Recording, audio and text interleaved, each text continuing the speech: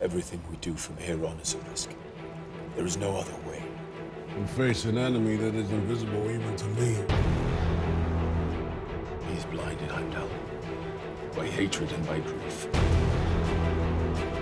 I am Loki of Jotunheim, and I bring you a gift.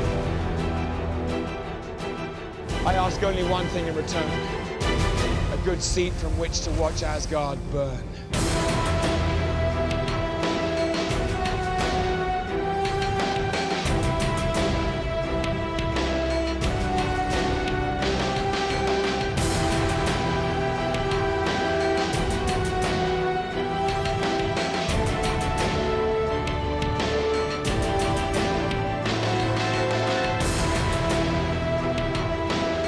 One day, man continued in his way, the Creator would annihilate this world.